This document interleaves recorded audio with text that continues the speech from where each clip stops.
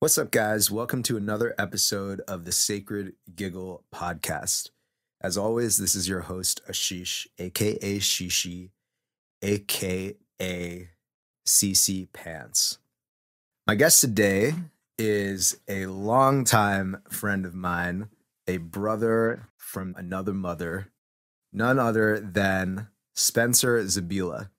This is technically the intro, so the podcast is going to happen in a second, but Spencer's in the room with me already. It's our first live podcast. And Spencer is one of my best friends in New York. I've known him for almost a decade. And we actually met at the beginning of the 2010s. And we met by throwing parties together as part of a crew called the Breakfast Club, along with our friend Pat, aka Jenga, who has also been a guest on the podcast. And since then, Spencer has gone on to do just so many amazing things. He's a, the true definition of a multi hyphenate. He started a studio that we're sitting in now called Key and Needle in Williamsburg, Brooklyn, and has turned it into an absolute haven for all different types of music. He's an incredibly talented producer who makes house, tech house, techno. And apart from all of that, he's just a really collaborative person who is always looking out for the people around him, always wants everybody around him to win. And that's something that I've always really admired about him. So I'm really excited for you guys to hear this podcast with Spencer, learn a little bit more about his story. And I know you're going to get a lot out of it. So well, let's get into it.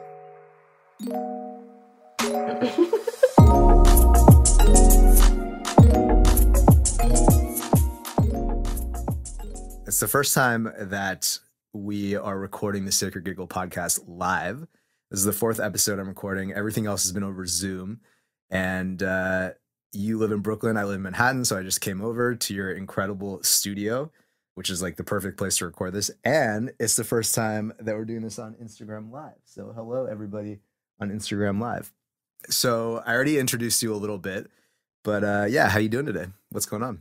Good. A little tired, you know. It's been a it's been a crazy day. I had um Ant LaRock over earlier and we were making some some house music and talking about the next project that we're working on for our music company, which is basically combining crypto and and music and giving artists like a leverage with their existing music catalogs, their future potential earnings. So it's been like, you know, a roller coaster. We did a little bit of business, a little bit of creative, and uh, now we're we're doing a little bit more creative. So that's amazing. Yeah, I feel like that's the perfect description of you as a professional in the music industry. A little bit of business, a little bit of music, and um, yeah, I'm curious. I, you have your hand in a lot of different things, which we'll get to. Like you have your nonprofit, you have this amazing studio that I saw you build from scratch. Like I literally was here when it was just like literally an empty room, and it's pretty remarkable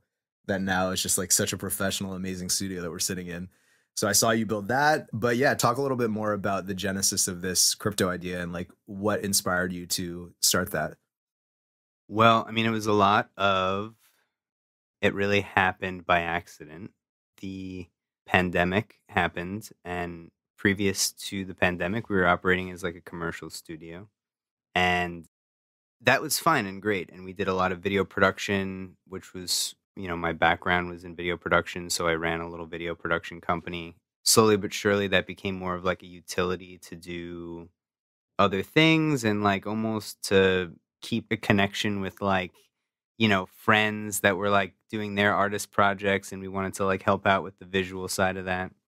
And so the pandemic hit and everything closed down we weren't able to operate safely in, you know, with people and in the space and it gave us a lot of time to reflect and heal i would say you know because it was like you know in nightlife you know obviously it's like you're hitting the pavement every single day and every single night and you know there isn't a lot of time to just take a break and and relax unless you you know plan for that. So there was a lot of thinking there was a lot of thinking involved in what was the next step for Key and Needle. And I kind of wanted to separate myself from the physical space, like use the space less as like a a revenue generating asset and more of a place, which was my original goal, more of a place to create moments naturally and organically without like a price tag attached to it, you know. Easier said than done, you know, cuz like we all have a, a landlord and we got to pay rent. So figuring that out was difficult. Yeah, it was like a lot of understanding what the market is looking for, what artists are looking for. And I ended up working with this company called, or this foundation called the Web3 Foundation, and they created this network of blockchains called Polkadot and Kusama. They're like two, one is like kind of the wild and crazy cousin of the other, mm-hmm. used for whatever. And I just like learned, I like totally jumped right into crypto and like tried to understand like what it was all about. And this was sort of like in parallel to chilling, you know, in the pandemic and trying to figure out what was going on. And um, I started learning like what people were doing in this space that is sort of becoming coined as hi-fi, which is hybrid finance. And there's this thing called asset tokenization, which is basically the idea behind our company, which is like artists have this asset, which is their music catalog that they own. Sometimes they just own like a percentage of it if they've signed part of it to a label, but they still have an asset.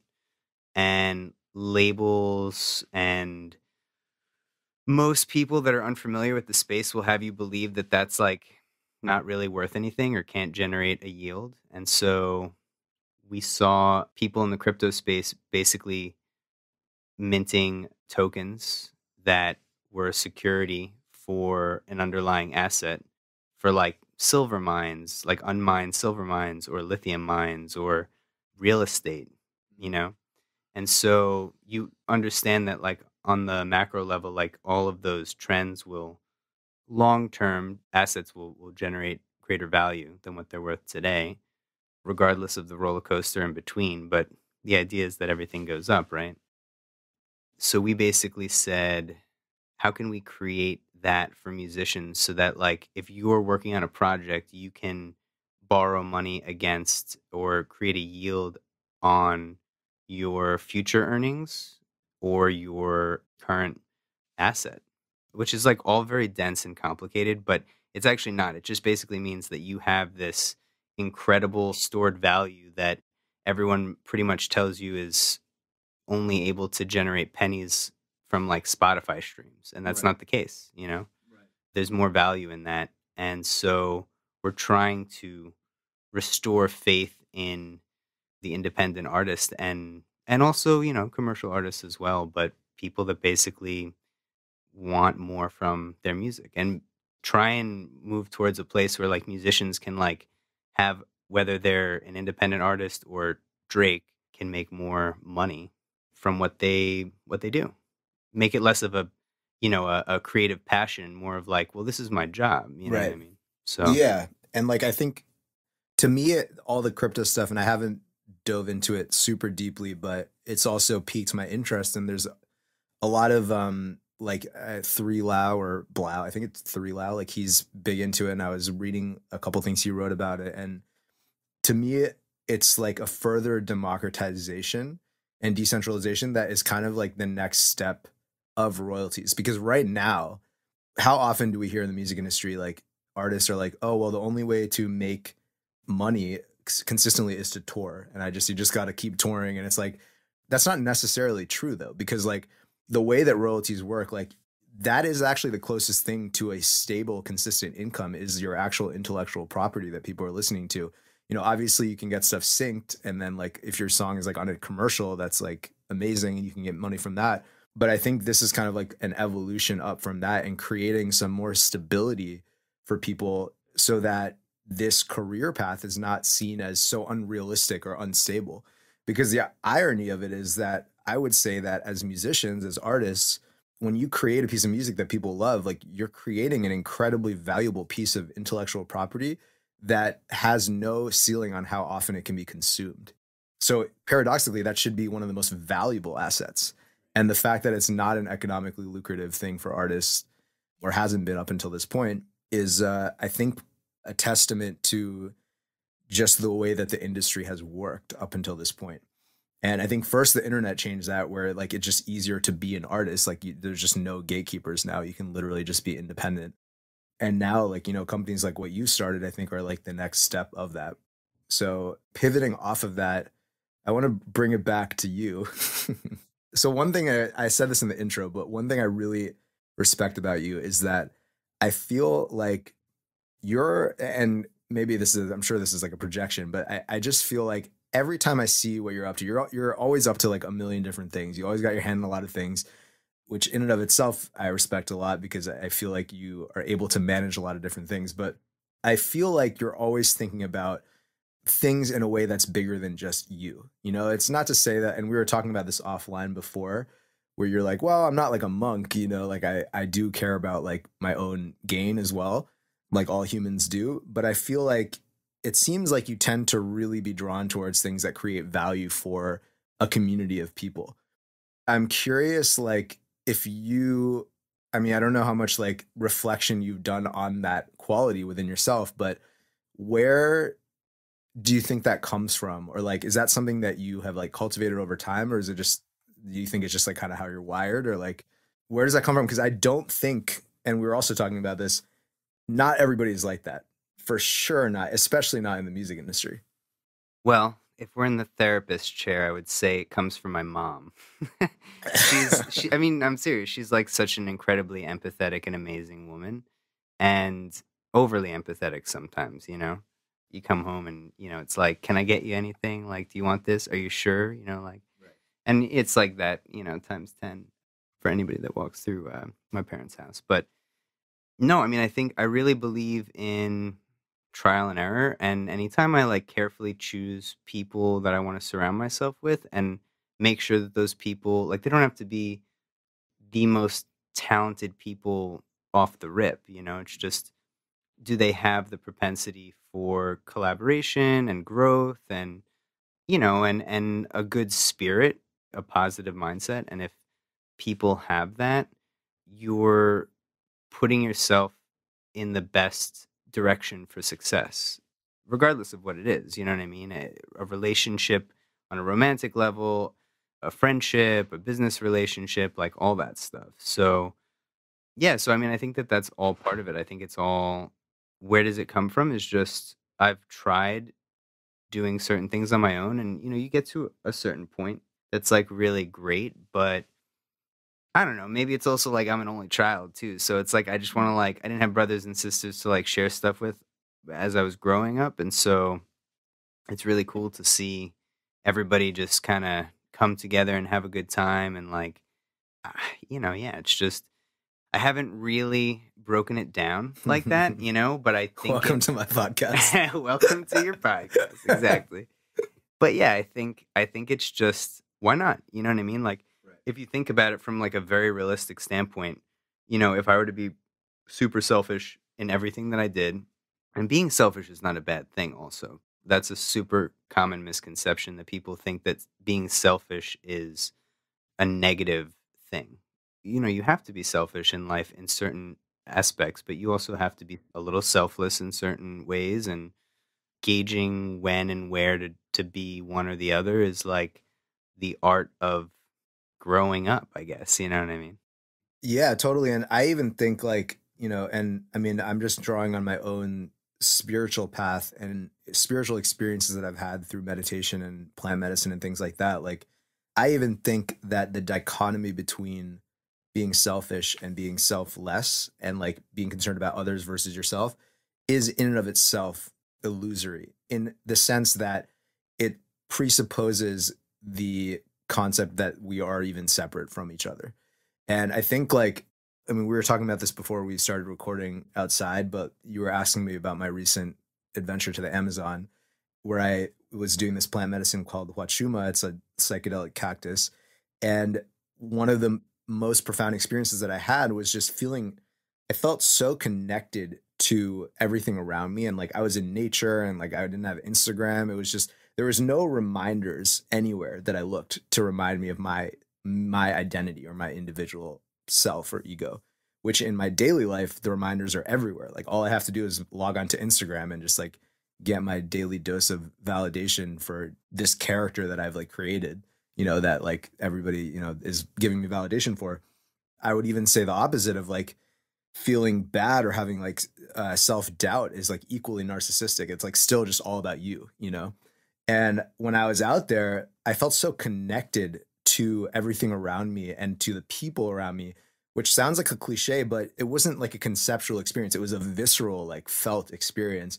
And that sense of connection completely dwarfed any sense of self importance that I could have possibly had. Like, of course, like I'm a human being. I'm not like a Buddhist saint. So, like, obviously, like I have an ego, and I don't think it's, I think the spiritual teaching to like kill your ego is not necessarily right in the sense that like I just think it's unrealistic and like we're human beings like we're here to be human beings you know? Like so totally. it's totally fine to have an ego but one of the big insights that I had which I'm really trying to integrate in and which I feel like you really embody and live is yes it's good to like do things for yourself but once you can dismantle that sense of separation something that you've told me many times over the years is like if one of us wins like if one of us like makes it or whatever we all make it because we're all sharing in that person's success. And even from the most selfish, manipulative, Machiavellian, like if you just have like no morals at all, that still is the best strategy because like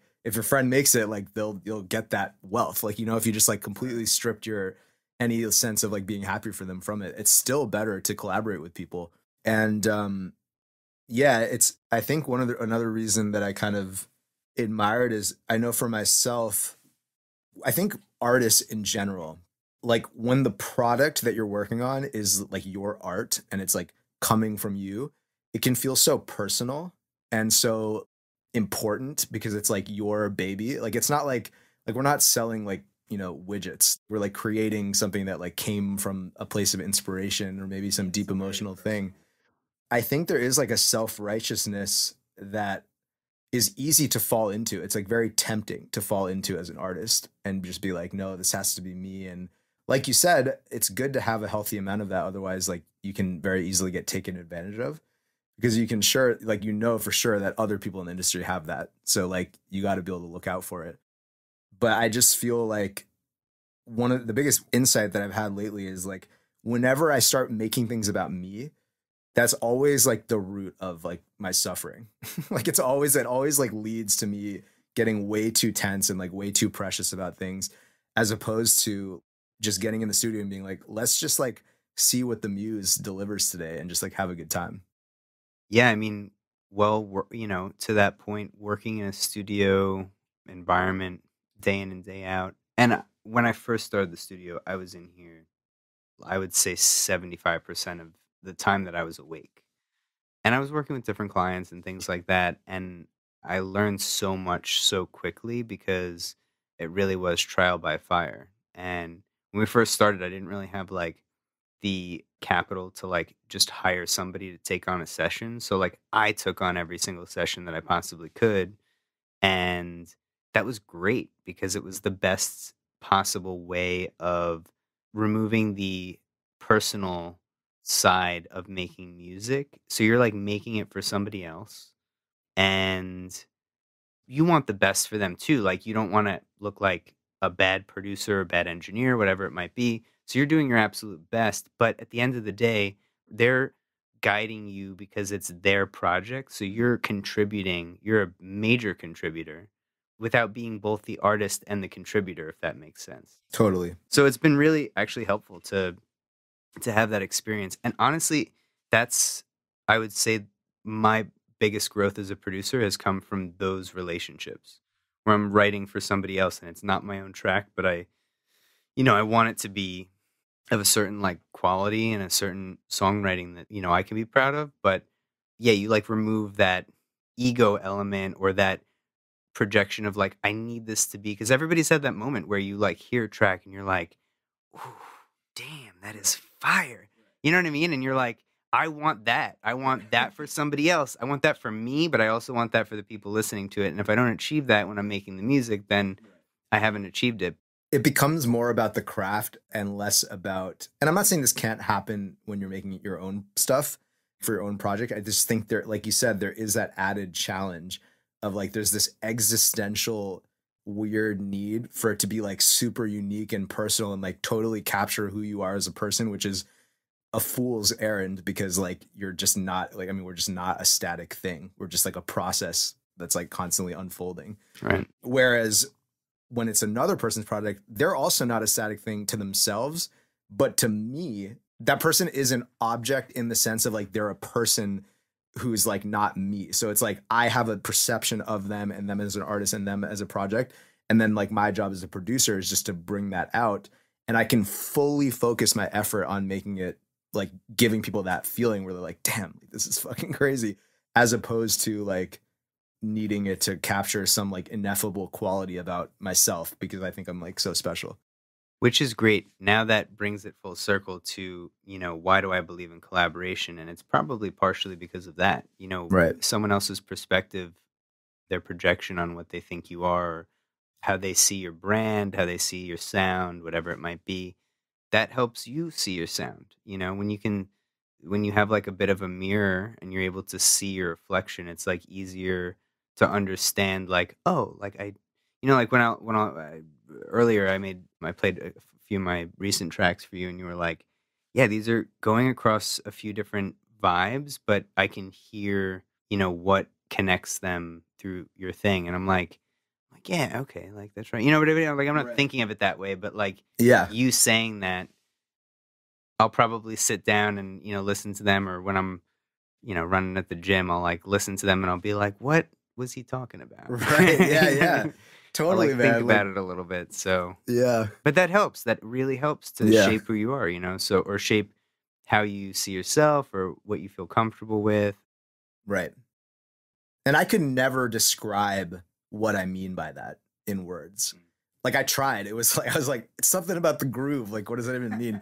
I mean, yeah, okay, like Eric Prydz has his like snare or whatever, but like the whole point is that it's not describable by something simple. You know, this is why like, and I know I'm not alone in this. Like, I hate the question, what kind of music do you make?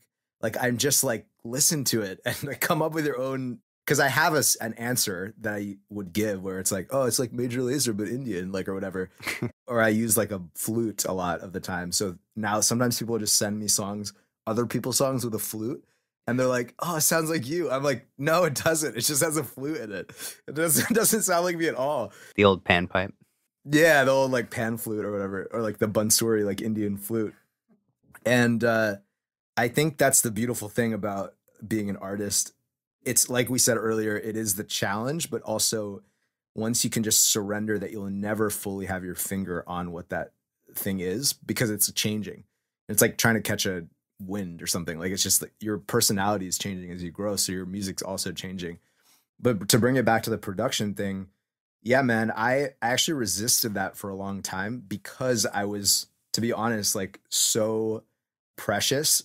And I was like, ah, no, like I didn't want my identity to be like a producer. I was like, it was just narcissistic. I was like, I need to be like an artist. So I actually turned down a lot of production requests for many years. And I like just people would hit me up and be like, Oh, I really like this, your sound. Like, can you help me make something? And I was like, No, like everything I make needs to be for me. And it was like recently I've started working more and more with people.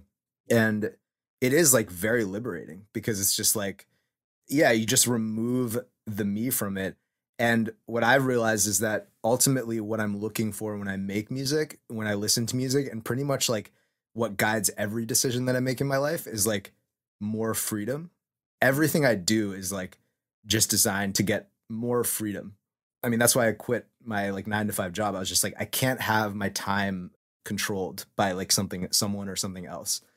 And I think that's why people want money. It's just like, it's not the money that is necessarily in and of itself valuable. Like money is just a concept that we all agree on, but it's the freedom that it gives you, like the freedom to go travel or do do whatever you want. And I realized that with music too. Like the reason I love music so much is because I can put on a song, and I've tried like a lot of different shit, like spiritual practices and like psychedelics. Like I've, I'll try anything. Like I'm down for whatever. But like to this day, nothing, nothing can modulate my my mood or get me out of my head as quickly as music. It's just like the ultimate release, and I realize that that's why I make music too. And by making it all about me, I'm actually like subverting that freedom because I'm now I'm like attached to this identity. It's a really interesting process that I think a lot of artists deal with. Yeah, I mean, for sure. It's something that I think whenever you're making, whenever you start making music, you. I was actually thinking about this the other day because I was playing my girlfriend some tracks, like the first track that I made when I was like, "Oh, dude, I'm gonna make it," and it was like the first track I ever made. That was like, yeah, like you know, a The decent mix or whatever, and then you know, like whatever, like eight years ago, seven years ago, Right. and I was like, "This is the one, Right. baby." All right, and uh, you know, I was going through like old SoundCloud stuff. And it was so interesting because I was like listening to it and I was like, wow, this still sounds like me. It's just like a a less mature version of of me, but at the same time, it's important to create a reference for where your journey sort of, you know, began or where like there are certain tracks, I don't know if this is the same for you, but there are certain tracks in my catalog that I'll like listen back to and I'll be like this was a defining track. You know, like maybe it didn't go anywhere or whatever, but like this was a defining track because it pushed me further or created a reference point for me in my like greater journey. You know what I mean? totally. I think those things are are really cool because they they really do provide the context that you need to understand something about yourself at that point in time but like reflecting on it is really cool because you're like you know maybe in the moment or like 6 months down the road you've heard that song so many times you know Right. and you're like god this is like such shit. It's a shit song you know what i mean? You're like Right. what was i thinking? you know? But then you listen to it like seven years later and you're you're not really thinking about it in the same way you're thinking about it from a more mature standpoint as a producer and you're like wow like this was something you know what i mean Right. like it was it was okay it was like what was i getting so hard on myself for like right. because Yeah. i didn't eq the snare properly like you know uh, whatever oh, that's Um, so true. but that's you know that's that's from a production standpoint but from a from a career standpoint it's also cool to see like what opened up a door for me you know metaphorically speaking and gave me the courage to pursue something new or or drive it forward you know what i mean Yeah. Do you feel like that way about moments or conversations with people as well? yeah Because uh, I, this just actually occurred to me. You told me something that totally changed my approach to writing melodies really once years ago. Because, well, and what's funny is that maybe it's just because I'm so uh, like introspective and just constantly like analyzing myself, but like so a long time ago i was playing you some stuff and at the time i wasn't as into like house and techno which this is a huge generalization but generally is not as like melody driven as like pop. And i was like you know listening to a lot of like Major Lazer and stuff and i just like didn't listen to that kind of music and you were listening to a lot and i remember you saying like you know with melodies you want them to be like short and like repetitive and not like too complicated or like too like indulgent basically and it was in the context of like I was probably showing you like an incredibly indulgent melody, and um, and I remember at first I was like super triggered, and I was like, "Fuck, like fuck Spencer, like what do you like? He doesn't make this kind of music, like like whatever." But then like I thought about it, and then I started listening to songs, and I was like, "Oh yeah, that's actually kind of true."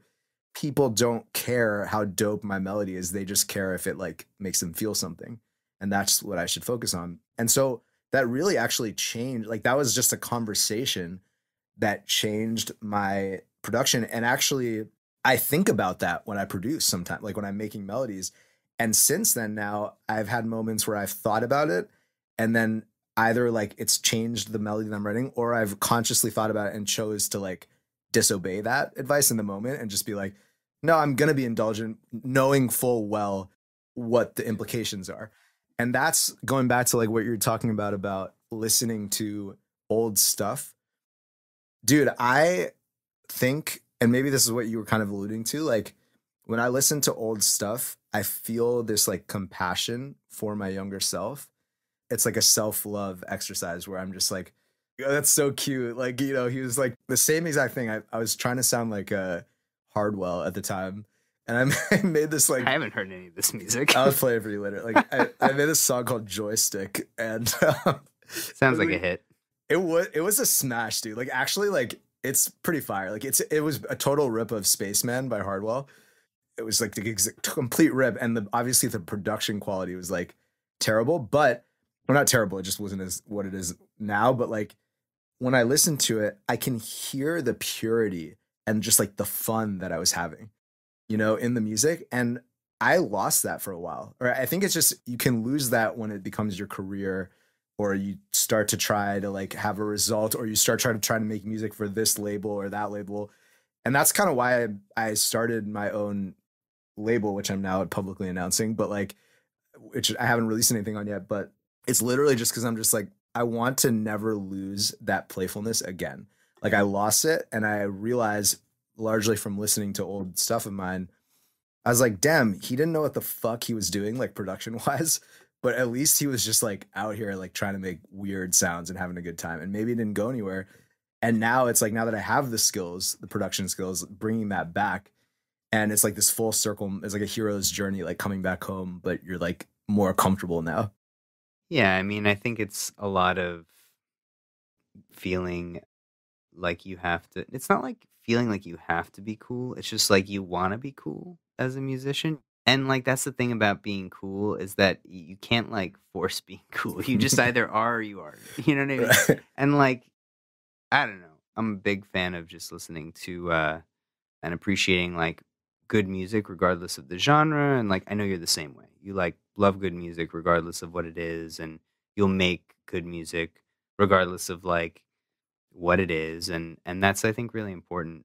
Keeping that youthfulness or that playfulness in the in the music is I think coming full circle in your artist career. I also believe that it's not important for like there's some guys like I don't even know how old John Summit is, but like guys like John Summit who are like they definitely know like what they're doing and they have their sound and, and it is cool and but they maybe just like kind of like came into that like they watched a couple YouTube videos, they didn't overthink it and they just sort of like you know. Totally. Whereas, like, you know, I've been producing music for, I don't know, like probably eight years or something. And like, I'm not Diplo yet. You know what I mean? But I think there's also a good, it's like not a, not a race. And it's like important to just like have that journey.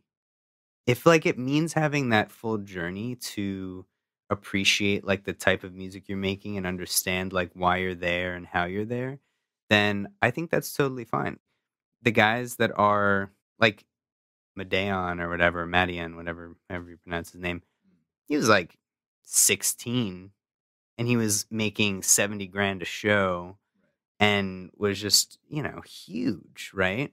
What does he know about? He might have gone, never released anything and like gone through this journey and then been like the next, you know, Solomun and made a totally different genre. You know what I mean? Like just like basically you know techno or whatever you know like whatever it is right melodic techno who knows what the guy would have made but because like Madeon was like a brand at 16 that's like what he's stuck with you know what i mean i don't know if you had what was the name of the song you got to be more specific swirly guns the the hardwell song oh joystick joystick swirly guns swirly guns whatever you know That's a pretty accurate it's, it's the dub version of it. Right. Swirly, swirly guns, guns mix. Swirly guns dub. Late night swirly guns edit. Sunrise edit. but, you know, if you had like released that and all of a sudden you had like CAA knocking on your door and they were like, We're putting you on tour right now. You're you're the next Hardwell, like blah blah blah. And you became this like big EDM guy in that sound and your brand was built off of that and you're still making music that way, but you were like, but I really want to make like shishi music. You know what I mean? Like that's not what yeah. I really wanted. You know, like then was that the right choice? I mean, yeah, you'd be making mega bucks, but like, you know, you then pigeonholed yourself into like who you are and what mm-hmm. your brand is. So it's like yeah.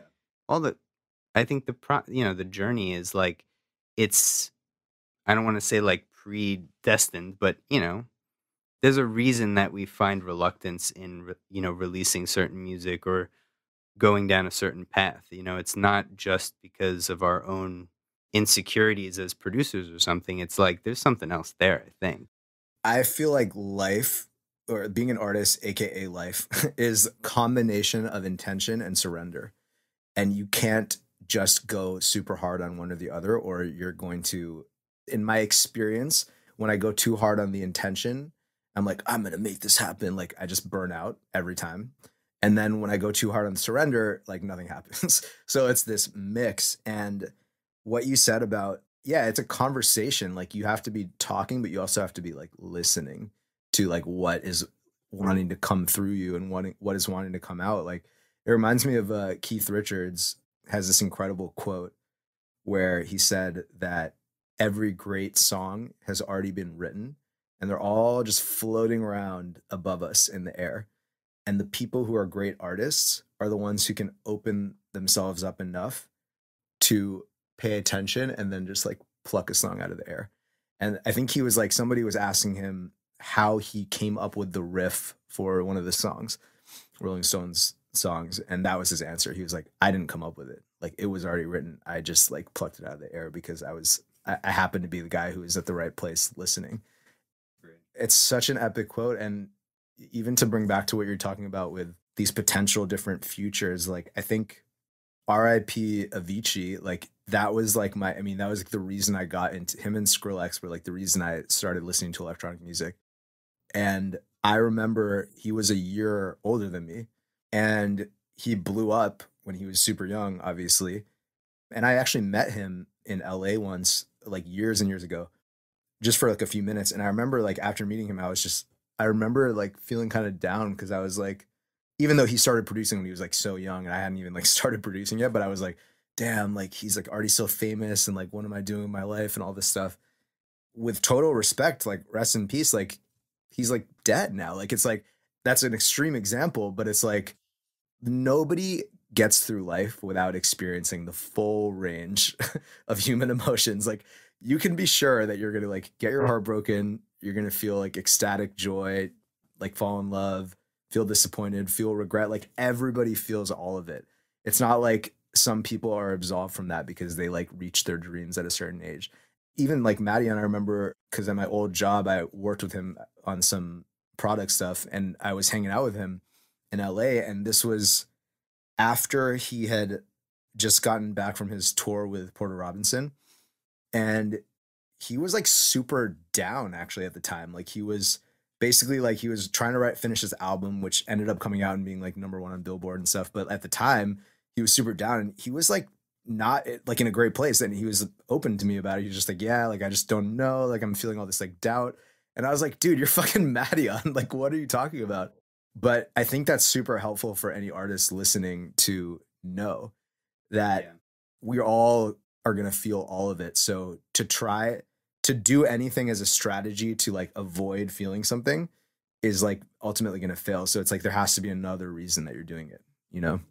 Totally. And, you know, also as a strategy for something very specific is also a strategy for failure, like mm-hmm. wanting mm. fame or success in a certain type of light, having that like expectation for something. Cause, yeah, I mean, like on a different level a lot of the great things that have happened in my life outside of music or in music have just been, you know, happenstance and really have come out of love as opposed to strategy completely.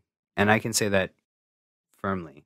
You know, I just feel uh, like I'm, I met Erica, I met my girlfriend when I was in a, you know, DJ booth and she like came to this show. I was like touring in Europe, and then I like came back, and it was the first show that I was playing in Brooklyn after being on tour for two months, and then she was like coming from some work event in Boston, and she like came back and decided to go to this show, and like that's how we met. And I was doing, I wasn't like looking for love. I was, you know, in love with music, and I was doing what I loved. You know what I mm. mean?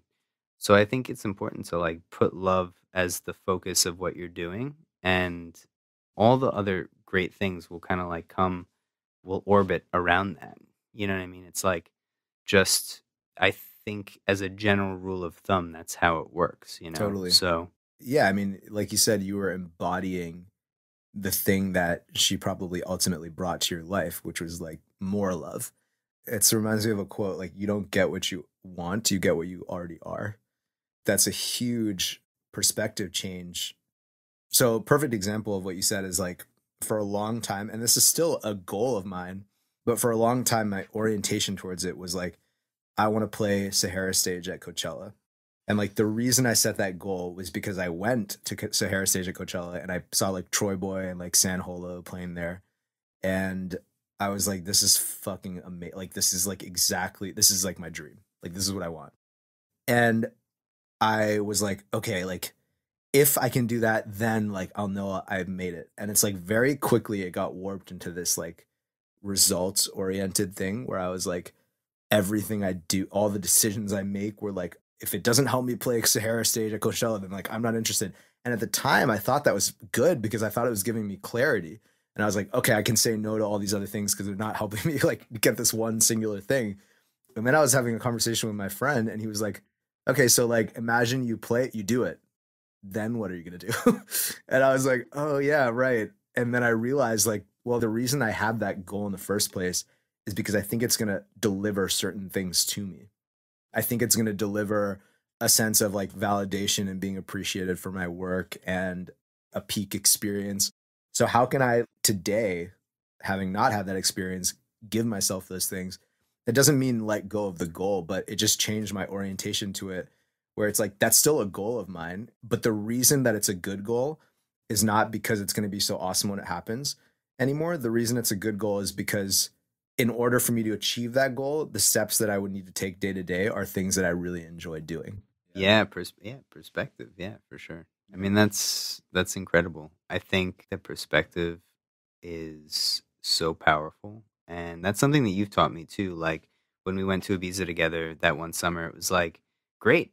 I was just like in a weird funk. I was in a bad place, and it was right before I did the tour, and yeah, we just like did life stuff, you know, like just like you know doing like life stuff. It wasn't anything like specific or this or that.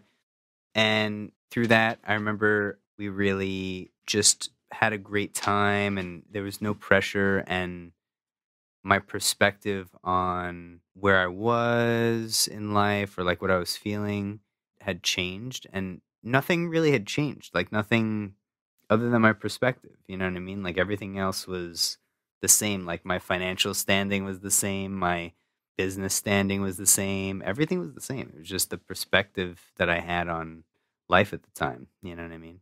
So, and that was like a lot of like meditation and like that's where we met or hung out with like VJ, which was great. VJ Gibson. Yeah, VJ Gibson. Yeah, he's great. I had a call with him recently. He's working at a really cool company now. Nice. But yeah, it's definitely perspective is such a huge thing on it. So I, I have a question for you actually. Shoot other than just this being like an entertaining podcast, like what are the things that you want people to sort of, or you hope that people take away from, you know, these podcasts? Like, why are you putting them out there? Yeah, I have a very clear answer to that, but I'll preface it first by quickly just saying that, like, we should just date this answer to like this date and time because, like, I just have learned about myself that like everything's just constantly changing. So maybe my intention for this podcast will, eh, eh, for sure, it will grow and evolve and change. But I think at the core of it, I started this podcast for the same reason that I started making music, which is that I started making music because I enjoyed it, but also because music, consuming music, was so beneficial to my life. And so I was like, if I can produce the same thing that I'm consuming that's beneficial to my life and have benefit on others' lives, then that seems like a good use of time. Like it just seems like I'm not like wasting my life by doing that and also I really enjoy doing it. So almost in the exact same way, I listen to a lot of podcasts, but only like a handful. There's like a few podcasts that I listen to, but I like love them and they really, really benefit my life.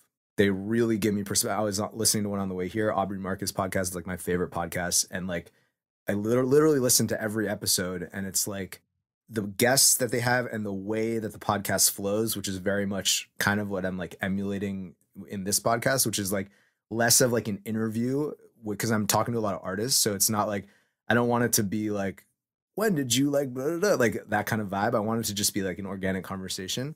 But that podcast and just in general, like wisdom from people that I look up to and people that I admire has helped me so much in my life, just get perspective. And if I can do that for other people, then this seems like a good use of time. And then it's also similar to music, I just like talking about deep shit. So it's like I just genuinely like enjoy doing that. I'm aware that like I like the sound of my own voice, maybe a little too much, and I like also hearing what people that I respect have to say and absorbing that like a sponge. And um I mean, you know me, like I just it's impossible for me to like not have it make a conversation deep.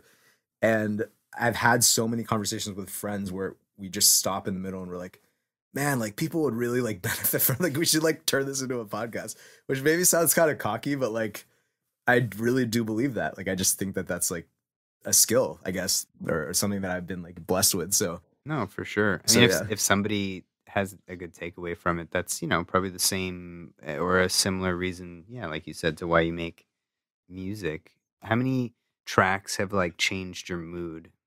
You know, and it's all just like these slight, like minute shifts in people's behavior that kind of like affect the macro. You know, like if there's good stuff happening, it's like a ripple effect. You know, and yeah, if I'm like in a bad mood and I'm just being short with somebody, then it doesn't put someone else in a good mood. You know, it puts them probably in a in a bad mood, and they probably pass that along, and so on and so forth. So, the more that you can um, positively send like that good energy throughout the ripple, then you know it's good. So, I mean, it's good to hear that you're that you're doing this. I like it. It's a cool thing for sure. thanks, man. Yeah, it's uh reminds me I'm about to completely butcher this quote. I think it's like a Buddhist. I have no idea. I'm gonna have to look this up and put it in the show notes because I'm not gonna say it correctly right now. But something along the lines of uh it was like when I was young and stupid, I tried to like okay, like I I looked out at the world. I'm already butchering this. I looked I looked out at the world and like saw how fucked up the world was. That's not the quote. It's something along those lines. And then it's like when I was young and stupid, I tried to change others. Then when that didn't work, I tried to change the world. Then when that didn't work, I realized that all I could change was myself. And it's like I just think that that's um yeah, that's a really powerful quote and uh yeah, it's funny how when you create a piece of content whether it's like a long form conversation like this or even like a song or whatever, put it once you put it out there like it just has a life of its own.